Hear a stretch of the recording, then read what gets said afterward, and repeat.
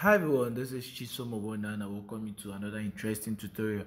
Okay, so in today's tutorial, I'm going to walk you through how I was able to achieve this on PixelLab. This is a glass morphism effect, a glass morphism effect, but not entirely a glass morphism effect because I was able to add something else that made it look this way because I wanted to use it in this context, in this design.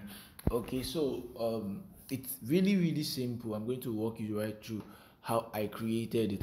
But before I continue, please do well to subscribe to my YouTube channel. Turn on the notification bell so that if I upload a new video, you can be able to um, receive it. All right. So let's get right into it. So the first thing we do is to import the flyer we want to use, okay, which is exactly this flyer.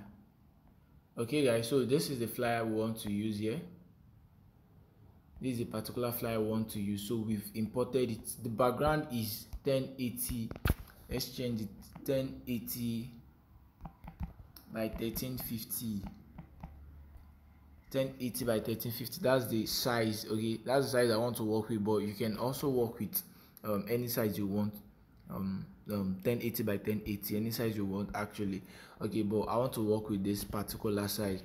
Okay the background should be black all right your background should be black or um, the background doesn't really matter okay? So but then if you want to make it black or white anything you want to make since this flyer is going to still going to cover it okay? So it doesn't really matter.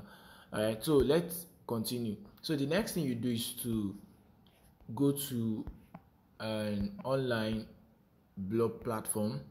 So just go to google you type blog images online blur images online. Then this is LunaPic i actually prefer using LunaPic there are a lot of other sites you can use but in this context we are going to use lunapic.com okay so when you go to LunaPic you click on choose file here.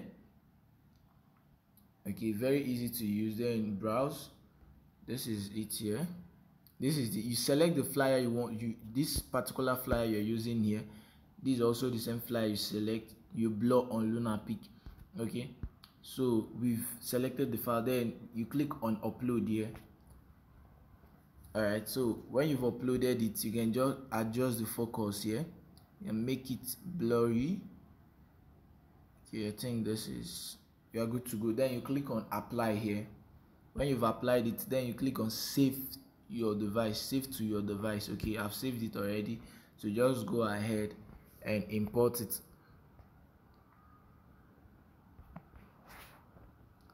here in download. All right so increase the size to 100 then see what you do. Since we already have this flyer here since we already have this flyer what we do is to take this blood one to the back. Just take it to the back like this.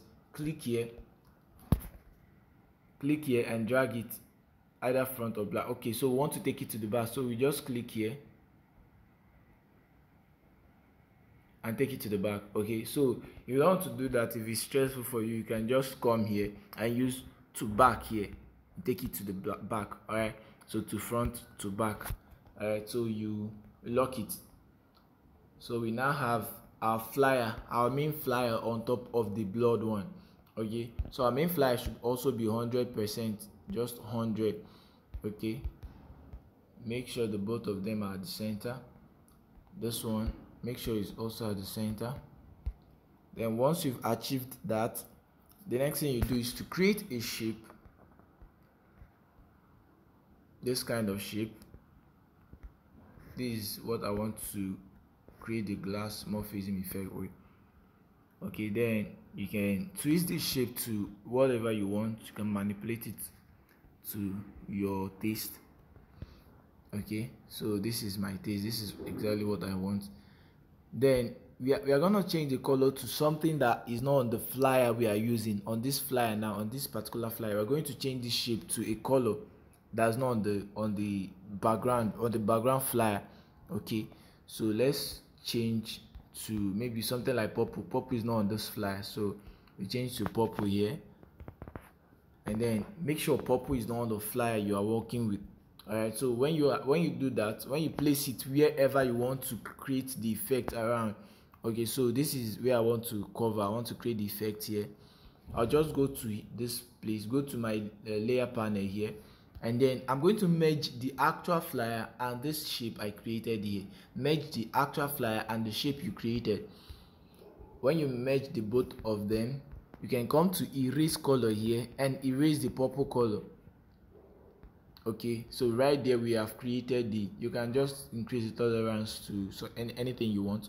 So right there we've created the glass morphism effect which is right here. The glass morphism effects we've achieved it on pixel okay but as i said that's not all i did. I went further to shadow here. I added the shadow and it's actually a white shadow. So i added the white shadow here and then i reduce the opacity of the white shadow by clicking here by clicking here on this plus and then i clicked here. Okay i reduce it. And i reduce it the blur reduce i think i reduced it as well to around 6 then here i had to take it further and here i brought it down a bit.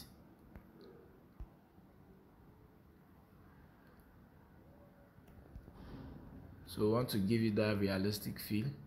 Alright so your blur radius should be 10 okay it should be 10 I think it's best like this.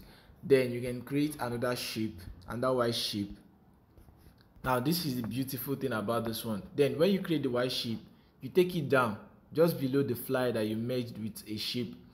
Okay so when you do that you then reduce the opacity of the of this shape of this white shape you just created. You see i've created the same effect i used on the flyer but then the beautiful thing about this is that you can change it to any color that you want. So if you need a red effect you have it here. If you need a just a black effect you just need it to be just glass morphism effect just like that. Okay you have it here. Any color you want purple effect blue anything you want that's the that's the beauty yellow that's the beautiful thing about using this method to create a morphism effect. Okay you can actually change your shape to the effect to any color that you want. All right so that's it basically. Thank you for staying with me. Please do well to subscribe to my youtube channel for more interesting videos okay? I'll be dropping videos once every week once every week. Okay so if you really want to get better on PixelLab not just PixelLab how to design with your smartphone basically other designing applications like PicsArt snapseed photo room i'm going to be doing tutorials on them every week okay please do well to subscribe to my youtube channel